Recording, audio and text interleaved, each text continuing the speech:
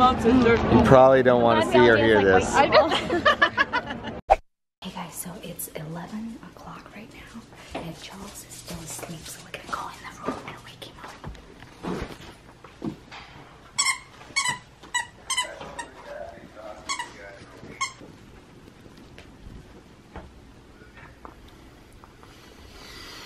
up. Hi, good morning. I just want to do my part and do some vlogs so you don't have to vlog as much this morning. okay, go back to bed. I'm sorry. I'm sorry. Zoey, let's go. Zoey, come on, let's go. Come on, Zoey.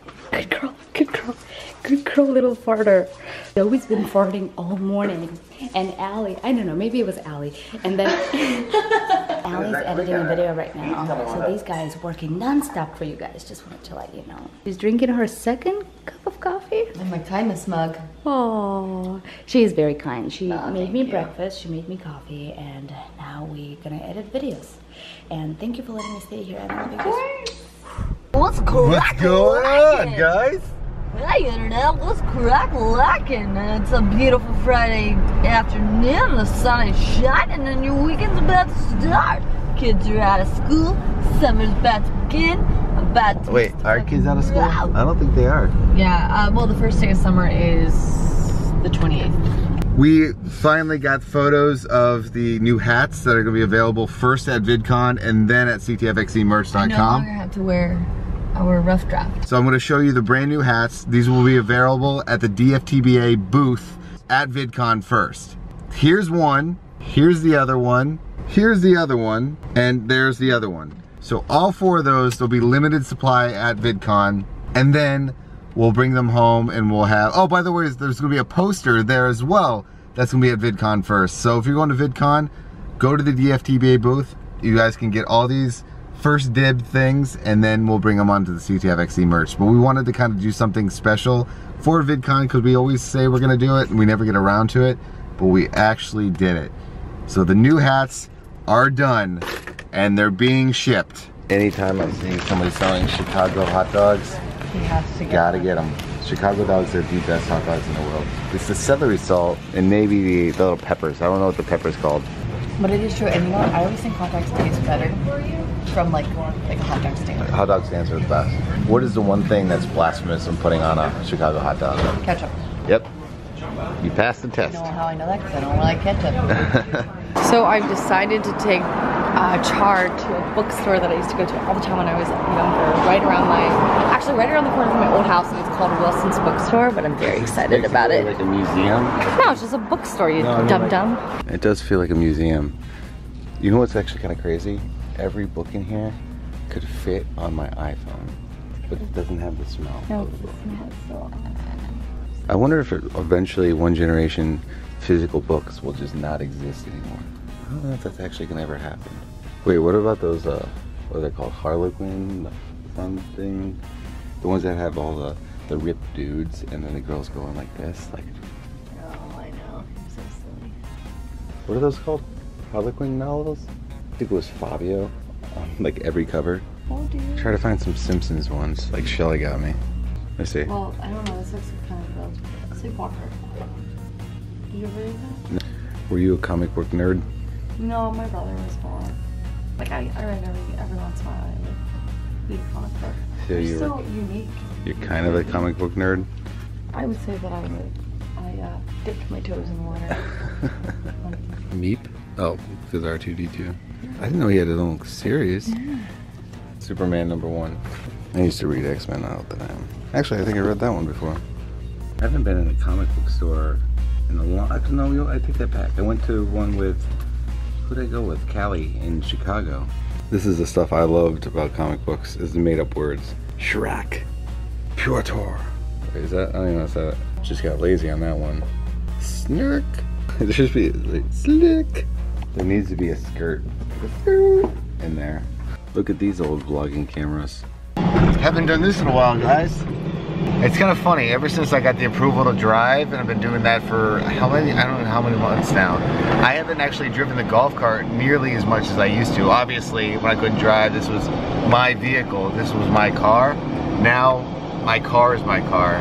So it's kind of weird driving this thing, but I forgot how much fun it is. I keep trying to hit the turn signal, which does not exist on a golf cart. All right, guys, so I just wanted to talk, you know, let's talk about the future. I kind of feel like this is something that Allie and I have been wanting to talk about for a while, especially since the whole adpocalypse has been kind of hitting everyone on YouTube. I kind of wanted to address, you know, like sponsors and things like that that are going around YouTube. A lot of YouTubers are now taking on more like sponsors on Instagram, on Twitter, Facebook, YouTube, all these things to kind of supplement what's going on with adpocalypse. For those of you guys who don't know what adpocalypse is, it's just a fun word on a very negative thing that has to do with YouTube right now. I actually have no idea why it's happening, but YouTube has now drastically changed the way AdSense, which by the way, if you have no idea, you're kind of just a watcher of YouTube, AdSense is the tool that pays everyone on YouTube. All your favorite vloggers, even some of you guys, you guys all depend on AdSense. It's kind of a frustrating thing for everybody. I've talked to friends, I've talked to everyone I know on YouTube, and everyone, I don't want to say is hurting, but everyone is seeing a change when it comes to this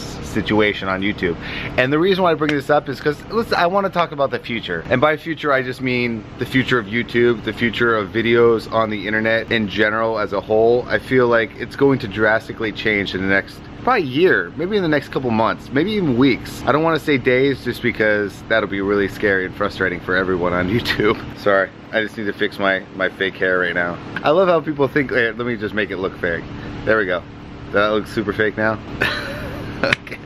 Let's just ignore that little segment. The reason why I want to bring this up is because I feel in the next, like I said, a couple couple years, weeks, months, YouTube as a whole is going to be changing for everybody, even possibly you guys. As we kind of go into this uncharted territory, you're going to see more YouTubers and more creators doing more sponsorships and you know more partnerships with other companies, which I feel is very important that everyone understands what's going on because with AdSense going down, your favorite YouTubers are going to need to supplement what's happening. As a community, it's something that we all need to kind of embrace. I, I know that we've done sponsorships in the past and I realize that it can be kind of overwhelming. Yesterday we did something with Canon and honestly, I would have done that thing for free because you guys have been telling me and hoping that one day I would work with that company. I have no idea, you guys have a better idea probably, the amount of money that I've spent on Canon cameras for the vlogs. But I'm not ignorant to the fact that I know sponsorships can kind of get overwhelming. My thing that I always want to hold true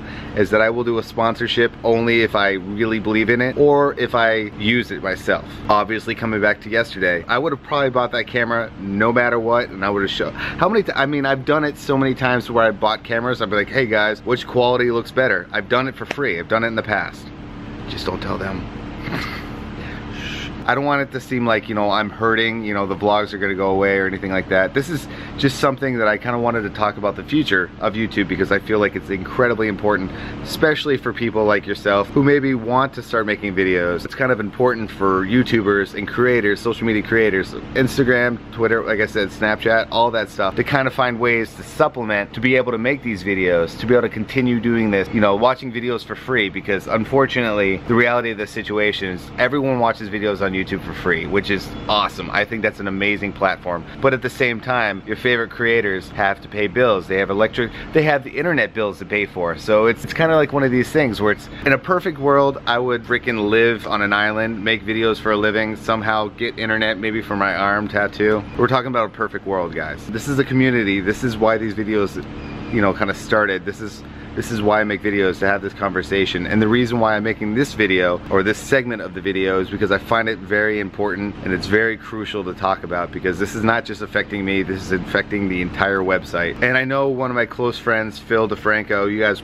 I'm sure know him. He explains it probably way better than I am. But I just kind of wanted to speak my mind and just kind of, the future is going to probably change on this platform that we call YouTube. Probably social media in general. And as scary as this is, trust me, I'm right in the middle of it. In the end, it could possibly be better for everybody. You, me, other creators on YouTube. It's just changed and every few years, social media changes. And this is just another evolution of the situation. And it's something that I feel like we all need to accept. And I know it's hard, possibly even somewhat confusing and frustrating, but I feel it's important that we have this, this dialogue to each other. I will make this promise to you guys. I will never promote something that I don't like. I'm just, I will never sell out. Selling out is doing something for money that you don't care about. I guess all I'm trying to say, and I'll stop talking, is that I just hope that we evolve as a YouTube community, not just for me, like for everybody, that people are accepting and understanding about what's going on right now. Because if YouTubers and social media creators don't do this, your favorite YouTubers, your favorite creators will have to stop.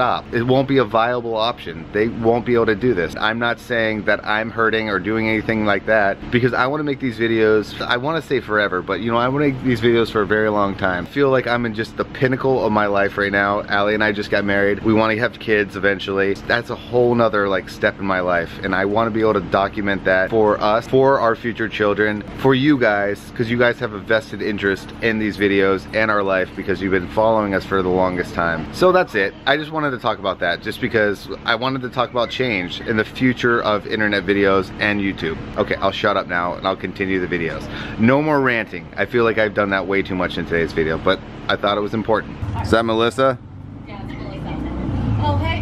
Hey, Internet fam. My name's Al. I'm talking to my sister, Melissa. What's up? Peace out. High five. Tell her she smells. Happy birthday! Oh, hang on. It's Meg. Meg. Ma'am. It's Meg. Oh, wait, hang on. I still don't know what that means. Now it's ma'am. Okay, so this is new meal uncensored right here. It's ma'am uncensored, right? Ma'am uncensored. Ma'am uncensored. You probably don't want to see or hear this. Happy birthday. Cheers. You're old as shit. Ah, you're older. Yeah. How old am I? We actually couldn't figure this out. Am I a year older? You're a year and nine months. So let's just say almost. Oh wow. Yeah. So a year older. Surprise, mom Yeah. and dad. we know what you were doing. I know you're like 21. I'm 25. I'm 26 in September. You are very mature. Very. You're a lot more mature than I am. Yes. That's a lie. Well. Yep, yep. no, We're just gonna do I'm that. the most mature. No. Ah. These are the things that we come home to. Marley's just like putting her head into Zoey's mouth. Hang I'll on, see you tomorrow. on, hang on. Don't forget to subscribe and have a wonderful night. We just Ubered home and we're gonna call it. We're gonna call it. We're gonna call it a night. Uh, it was really nice to hang out with everybody to kind of celebrate Melissa's birthday. Thank you guys so much for watching. If you guys are brand new, please do not forget to subscribe. Hit that like button if you liked today's video. And as always, you know with that we love you guys so much and we really appreciate you. I am going to try and get him to go to bed. This is like a new territory for me, so I, uh, yeah. All right, good night, everyone.